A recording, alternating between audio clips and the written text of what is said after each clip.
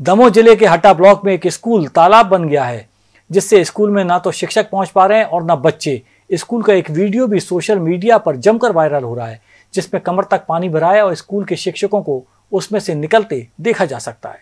दमोह ज़िले के हटा में पहली बारिश में जगह जगह जल भराव के हालात बने हुए हैं।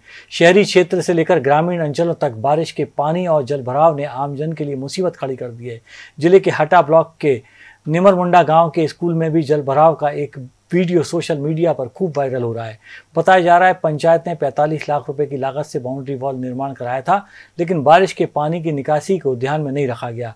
इस कारण बाउंड्री वॉल के मुख्य द्वार से स्कूल परिसर में पानी भर गया। अगर पानी निकासी की व्यवस्था नहीं की गई तो बारिश के मौसम में बच्चे और शिक्षक कोई भी स्कूल नहीं पहुँच पाएँगे।